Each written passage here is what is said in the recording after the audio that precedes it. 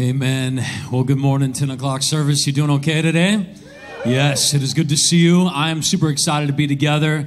I love this series on parenting. I love it because it includes all of us. It's because each of us have young people in our lives, people that we care about investing in, people that uh, we want to see their potential come out of. Like we want to see them become the fullest of who God had made them, intended them to be. So I want you to lean in, whether you are a parent, you've got maybe you've got little tiny babies, or maybe your your kids are teenage crazy or you know crazy years right now. Maybe maybe you're a grandparent, maybe you're a friend, you've got a roommate, you've got somebody that you care about investing in, and, and, we have an opportunity as a church to start to believe something significant about them. Here's what I, I love as a church, we are committed and passionate about people's potential. When we look at the next generation, we, we believe that God is, is calling us and inviting us into an, an equipping really season and a releasing season and a, and a place for these guys to, this next generation to be raised up to their full potential. I really believe the next generation is waiting for somebody like you and I to, to develop them, to invest in them, to get them ready for all that God has created them for and preparing them for. Here, here's an assumption that happens, though, I think, in our lives. When it comes to the, the impact of the next generation, today I want to talk to you about how to build for impact. When it comes to the impact of the next generation, I, I think we accidentally make an assumption that they got to wait a little while. They got to get a little smarter, a little bigger, a little faster, a little less annoying, whatever it is, right? We, we make these assumptions. I, I think about the next generation, and, and, and, we're, we're trying to wait for them to get into school at this spot, or, or, or maybe when, when they get to this age. I remember when our girls were first young and, and, and they're learning how to walk, and I was like, oh, I can't wait till they can run. And then as they were running, I can't wait till they can, you know, kick a soccer ball. And then as they kick a soccer ball, I can't wait till they're like, you know, playing at this high level of soccer, you know. And it's like there's always this like next thing that we're anticipating or waiting for or hoping that happens. And, and that assumption of like life will be different then, their impact will be different then, their, their, their abilities will be different then, misses out on the opportunities we have now to see them built for the impact that God has called them to and, and, and, invited them into. I don't want to make an assumption that eliminates the opportunity for the next generation. I don't think any of us do. We don't want to like shove our kids to the sidelines and just ask them to get a little bit older and then they can do something awesome for the kingdom. We believe that right now is the time for the next generation to be designed and, and, and, shaped and, and put together for the purpose of God in their lives. It's not a time to wait, it's a time to release. And I really believe that this is a pivotal conversation today, and so I want to dive right into it. You want to dive in with me today? Yeah. All right, grab your Bible, turn to John chapter 6. It's a, it's a gospel in the New Testament, chapter 6, feeding of the 5,000 is what I want to I want to kind of land us there today.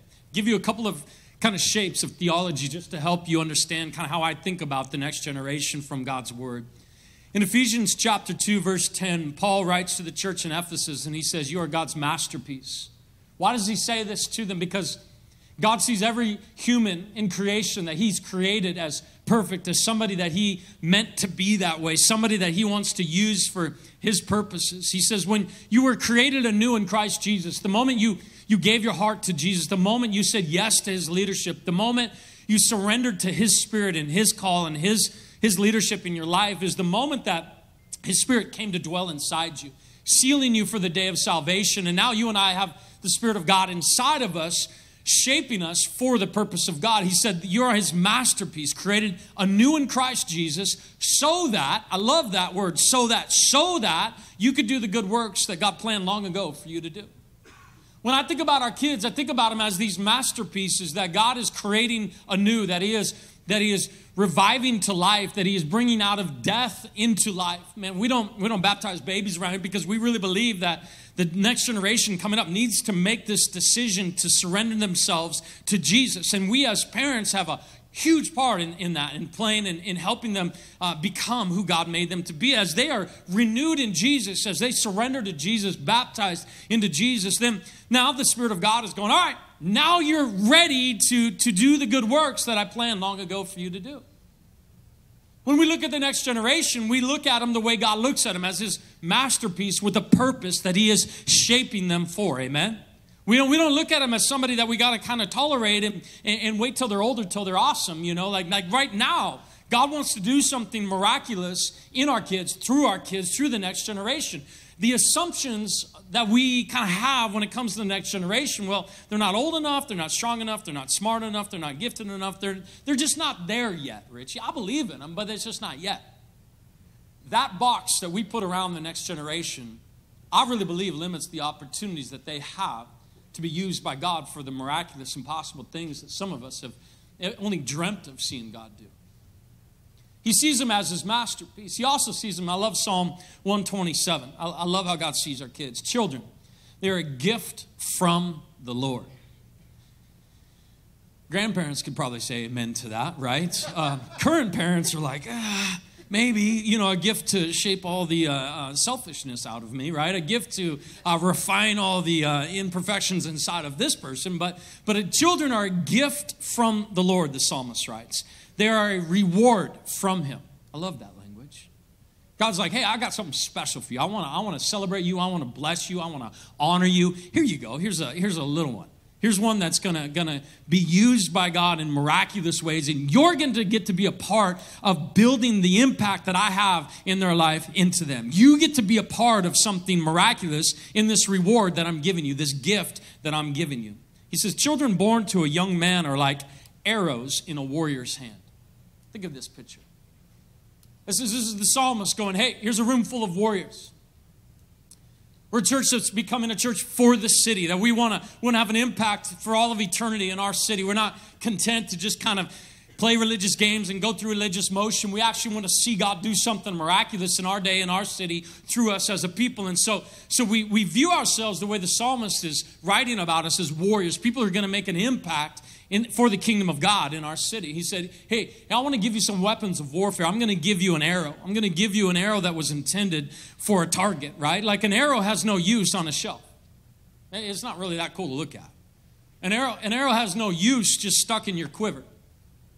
But an arrow that's, that actually is being launched toward the target that it was aimed at the target that it was built for, the impact that it was made. Man, that's something miraculous. He says, these are what kids are. They are they're children born to a young man are like arrows in a warrior's hand. How joyful is the man whose quiver is full of them. Here's what I hear the Lord saying. Have lots of babies, right? Like if your quiver is full, man, you're going to be full of joy. I love that verse. How joyful is the man whose quiver is full of them. He will be, not be put to shame when he confronts his accusers at the city gates. And when I hear this, God's saying, Hey, I got a gift for you, real life. It's your kids. They're not your possession. Just kind of to sideline and, and, and sit there and, and, and hope that they don't mess up too bad. And I've got a gift for you that, that I want you to, to launch toward their impact that I built them for, towards the target, the destination that I built for their lives. These are your children. They're a gift, they're a blessing, they're a reward. I want to honor you through the children that, that you're going to launch toward the impact that I've built them for.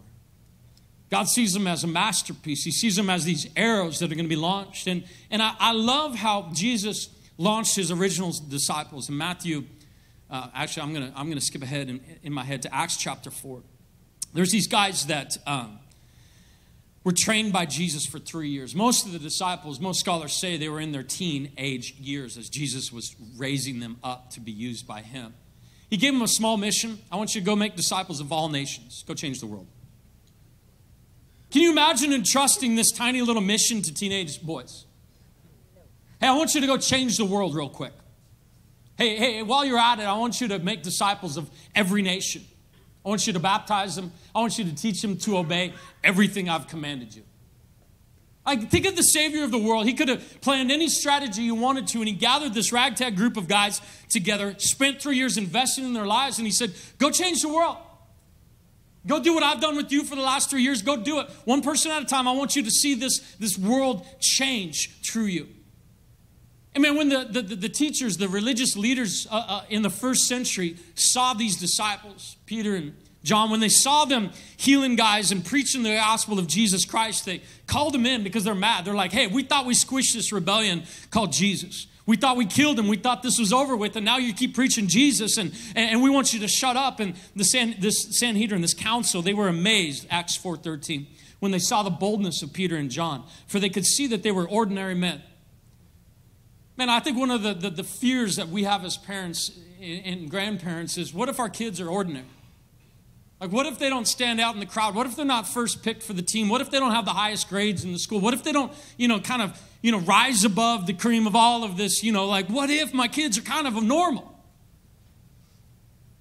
The good news that I love in this passage is, is these were the guys that Jesus chose to change the world, the ordinary men with no special training in scriptures. And they also recognized them as men who had been with Jesus.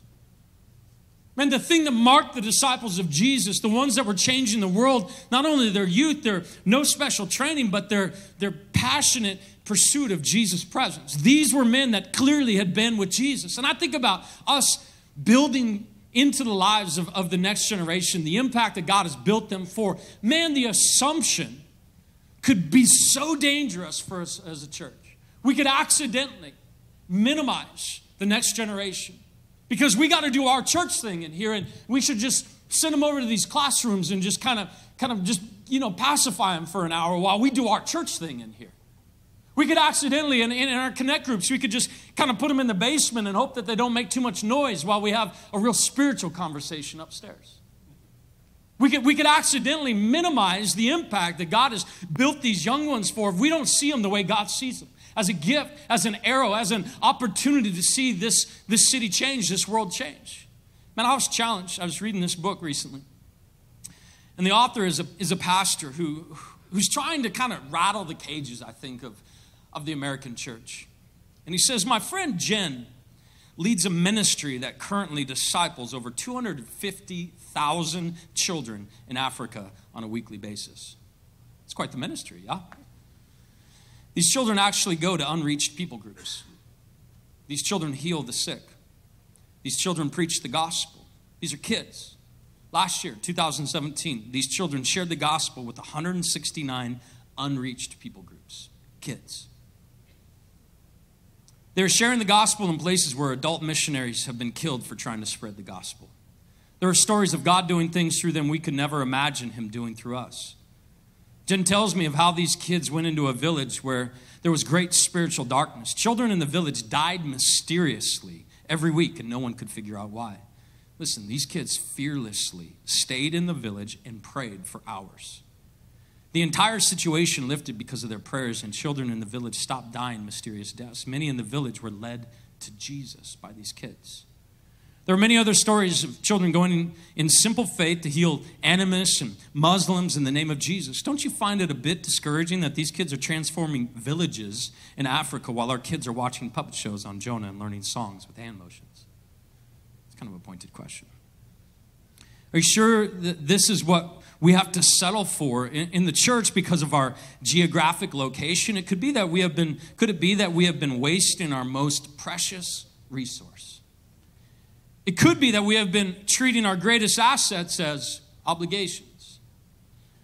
We need to start reminding our children of their power, he says. Maybe it's our lack of expectation from younger kids that bleeds into the way we treat middle school kids in the church. We teach them as if their only goal is to refuse to drink or to have sex, and then when they hit high school, we try to entertain them enough to keep them coming. We can keep doing things the way we've always done them, but maybe we need to do some more releasing and less taming. What would happen if we trained our young lions to attack rather than to keep them sheltered? Maybe it's time we obey Jesus' words and set ourselves in the posture of learning from our kids. See, this assumption was flipped on its ear by Jesus himself. Book of Matthew, Jesus was teaching to the crowds, and people started to bring their kids to get blessed by Jesus. And and, and the disciples thought, hey, this is a religious kind of spiritual moment. Don't interrupt it with the young ones. And so they started shooing the parents and the kids away. Jesus stopped them. He said, no, no, no, hang on a second. I want you to let these little kids come to me. I want to pray over them. I want to bless them. I want to lay my hands on them. And he didn't stop there. He said to the adults, the big people in the room, he said, actually, unless you become like them, you're not going to enter the kingdom of heaven. So, so, so hang on a second, Jesus. When, when we're waiting for kids to become like us before they could be used by you, you're saying, no, no, no. You actually need to become like them if you're going to be used by me. Wow, this conversation, it could get really kind of interesting real quick, I think, for us if we go, my assumption has been that they need to be big enough and old enough and smart enough and get through all of these things before they could be used by God. What if God wants to release our kids into our city to be a, be a, be a statement for us, a testimony to us of like how little faith we have and how much courage they have? Like, what if God wants to use our kids to challenge us to get busy with the mission of God? We've got all these careers and all this stuff cluttering our lives. They got, they just got what they got at this point, right? Like, what if God wanted to release them to, to show us, to make a statement to us about what's possible in our city? And I watch, I watch one of my girls fearlessly right now sharing her faith with one of her friends who's far from God. And I didn't teach her like how to do that. I didn't like sit down with her and give her like the, the little methods that I use to help people understand who Jesus is. She's just asking questions and loving her friend, and her friend's asking her questions back, and there's opportunities and doors opening up. Relationship is strengthening. How did Jesus build for impact into his disciples' lives? That's really the question, right, Richie? I, I get it. Okay, my, my, kids have an impact. Our kids have an impact that God has built them for. How do we build for impact into their lives? This is John chapter 6, that scripture I told you to turn to like 20 minutes ago, right? You with me still? All right. John 6, Jesus is feeding the 5,000 people. Well, the, the, disciples didn't know what Jesus was up to. They didn't know that he was going to feed the 5,000 people because they see 5,000 men plus women and children, maybe 10, 15,000 people walking over the hill hungry. The disciples' idea is, Lord, we should send them away. Let's get rid of these guys. There they go again, shooing people off, right? And Jesus go, no, I want you to give them something to eat. He says it to Philip. Philip, where are we going to get bread to buy, buy, you know, buy enough bread for these people? And Philip's like, Lord, I have no idea. Like there's no money, there's no, there's no way we could, we could help these people get the food that they need. Here's what I love what Jesus is doing. Like, if you're going, how, Richie, do I build for impact? Here's what he's doing. He's creating a moment of, for exposure in, in his disciples' lives. He's exposing them to a place where they've got to depend on him, where they've got to kind of step outside of themselves. They're out, out of their depth. Like think about like our parenting strategy is keep them in their depth, keep them in their kind of like their safe spots, keep them in places where they're not to get hurt or where they're not to get exposed to hard stuff or difficult things. Let's protect them at all costs. And I, I really believe that I, I'm passionate about protecting my girls. I absolutely am. But like, what if God wanted to, to, to share with them kind of opportunities to depend on Him in, in ways that they couldn't get if we just kind of coddle them and keep them kind of protected from the big bad world. And I, I, mean, man, you could look at all kinds of different strategies and we could talk about all kinds of different schools and education types. What I'm just saying is at the core of it, like the way Jesus got his disciples ready to change the world was gave them moments of exposure where they had to depend on God. I mean, it could be simple, right? It doesn't have to be like maybe you, you go on a mission trip around the world. That would, that's one way to do it. Maybe you go serve at our One Heart Center. Maybe you go cook dinner for a bunch of kids with your kids. Maybe, maybe, maybe it's just something simple like, hey, Christmas is coming and, and, we've got all these Christmas Eve services coming up. What if, like kids, what if we could pray for one of our families in our neighborhood together and, and, and believe that God's going to do something miraculous and we can bring them with us to Christmas? What if you could just create a moment where dependent on God is something that's in the equation, not just dependent on ourselves and our, in our ways and kind of our resources? Like we're, we're intentionally stepping out of our depth together and, and trusting that God is going to have to do something miraculous. And I just think about like what happens when, when you and I create these moments for exposure.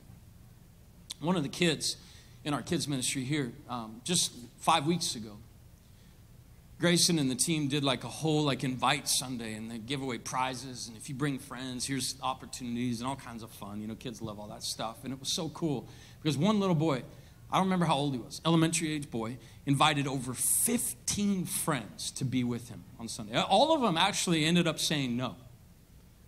But the team was so blown away by the amount of work that this little boy did to bring people with him on, on a Sunday.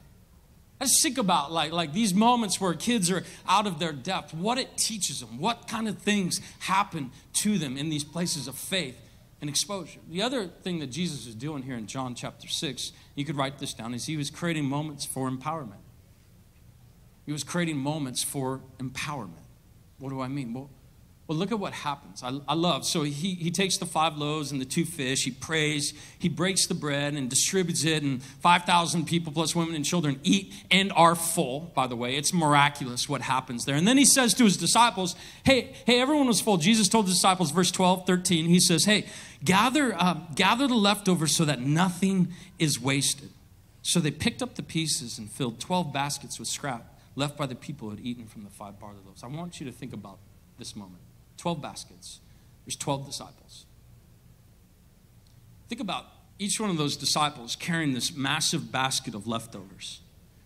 We only had five loaves and two fish, and, and 5,000 men plus women and children just ate. They're full. And here I'm carrying this basket of leftovers. It's this moment of empowerment where Jesus is going, hey, look at, look at what I can do through you as they're picking up all the leftovers. You imagine the weight of the basket growing and growing as the disciples pick up more and more leftovers and they're carrying them back to Jesus. You imagine what's being seared in their hearts and their minds that God, the God of the universe, is at, at work here. God is doing something miraculous here, and, and I got to just be a part of it. I, I'm a part of it by carrying this basket and seeing what God is up to. Like, what a miraculous thing for the disciples to be exposed to in this moment. And when I think about us as a church, like there's something that, that God wants to show us. And in a second, we're gonna we're gonna get to pray over our kids. We're gonna actually commission our kids here in a moment. Bring them in. It's probably gonna get all noisy, but it's gonna be awesome, right? We're not gonna just shove them over somewhere. We're gonna actually like focus on them for a second. But think about what, what God might be saying to us as a church. Think about what, what might be happening in our hearts right now.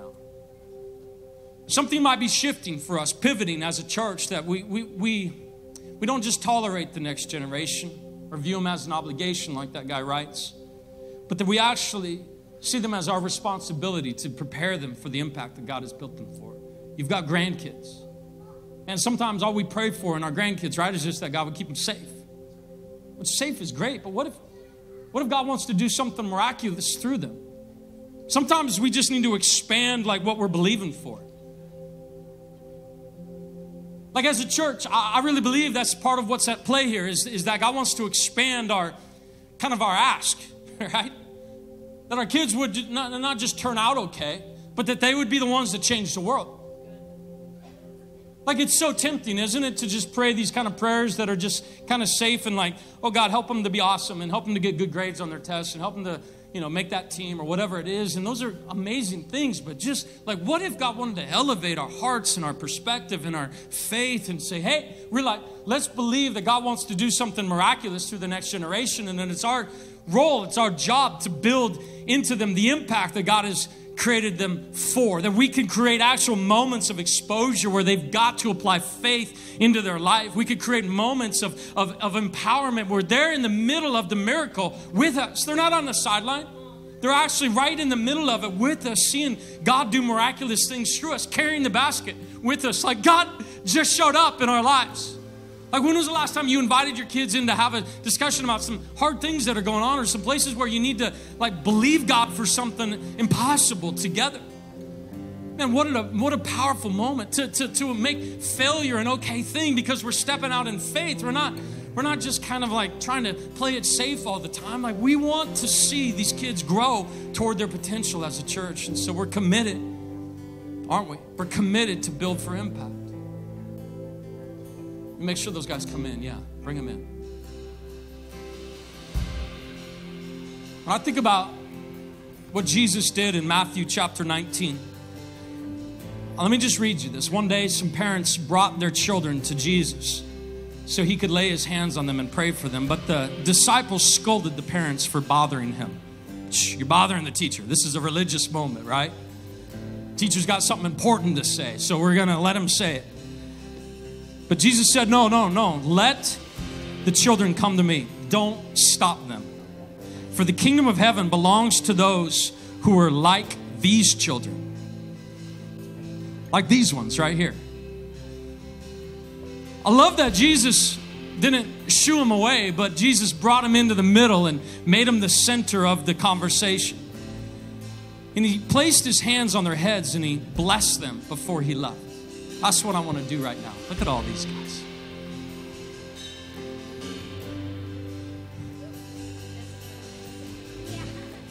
And when I look up here at you guys, I see an army that God is raising up. I see people that Jesus believes in massively. God knows you by name. He knows what He's built you for. He, he knows exactly how He's created you. He knows all the stuff you're awesome at and all the stuff you're horrible at. He knows how, how much you love people, how much hurt you've gone through. He knows every bit of your life. And He wants to take all of that and begin to use you for His purposes. You don't got to wait. You don't got to wait till you're old like me or like these people out here. You don't got to wait to be old. You can start right now being used by God. You can start today. I wonder what Jesus would say to you if you asked him to be used by him. What would God maybe speak to your heart and say, hey, here's a friend I want you to pray for. Here's somebody I want you to bring with you to church. I wonder what God would say to you if you just said, hey, I want to be used by you, God. Speak to me. I really believe God would speak to you. He would show you his plans, his purposes for your life. And he would give you steps to take. He would give you steps of obedience to take. Here's what I love is every time you obey Jesus, man, it gets simpler and more clear what he's asking you to do. It's not this big, hard, confusing thing. It's really simple. When Jesus speaks, we obey. As a church, I want you to hear this. Paul wrote this to a young man that he was getting ready for ministry. In 1 Timothy 4, he says, Don't let anyone think less of you because you are young. Hear me on this, kids. Don't let anybody think less of you because you are young. But be an example. Be an example to us. Be an example with your, your life and what you say, the way you live, in your love, your faith, and your purity. Be an example. Your age doesn't hinder what God could do through you. God wants to start doing something miraculous in you right now. So we want you to hear this, kids. That we as a church, we believe in you. We're going to invest in you.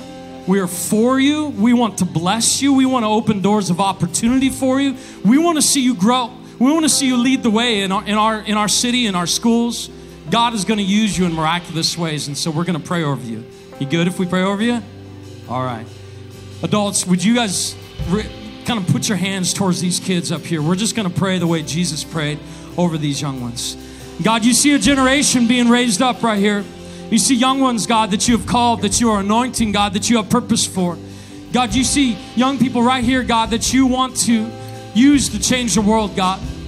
God, whatever fears, whatever hurts, whatever pain, God, is in their hearts, God, I pray that you'd be the healer. God, you would be the hope. You would be the peace, God, that every one of these kids needs. God, you would be the source of life for these kids. I pray for salvation for every single one of these kids, God. The courage to follow you no matter what, the courage to trust you no matter what, the courage to step out in faith no matter what, God. I pray that your spirit would just anoint these kids for your purposes, God. We as a church are committed, God, to raise them up, to lift them up, to give them opportunities to lead, to give them opportunities to love to give them an opportunity to set an example, God. I pray that you would use them to challenge us, to encourage us, God. These are the next generation of your church, Jesus, and we believe, God, that you are going to use them. And so we commission them now, God, and we ask you to open doors miraculously of opportunity and favor ahead of them, God. That every one of them would have something miraculous to step into and be used by you, God. We trust you with the impact of this next generation, God. We love you and we commission them in the name of the Father, the Son, and the Holy Spirit. Can you say amen? Put your hands together, church, for this next generation. Love you guys.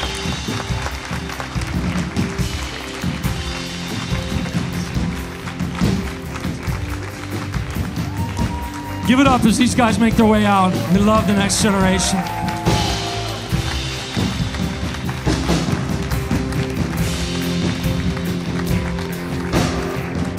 And some of you are being compelled. You need to obey Jesus today. He's calling you to get baptized. He's calling you to get connected to a group. Whatever your next step is, I want to challenge you to take that today. This is a time for us to respond to God's leading in your life. And these kids, they're setting an example for us, and I believe that God is going to use them to continue to encourage us. Their faith, their courage is going to be a testimony to us. I pray that God uses them in each of our lives. Let's be a people who believe in the impact of the next generation. If you need to be baptized today, head to the back. Our team will meet you right back there. Right now, we've got everything you need to take that step today. If you need prayer about anything, some of our pastors, leaders, elders will be right up front. Team, would you come forward so we can pray? As we sing, let's worship, let's respond. Let's get baptized, let's come forward for prayer. Love you a ton, real life. Let's respond to God today. Come on.